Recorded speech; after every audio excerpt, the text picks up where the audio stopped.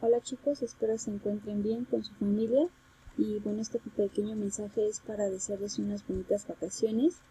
Sé que no son las, eh, las acostumbradas, pero tomemos tiempo para aprovechar cada momento que estemos con nuestra familia, tiempo para sensibilizarnos con la sociedad y tomar y no olviden tomar medidas de precaución.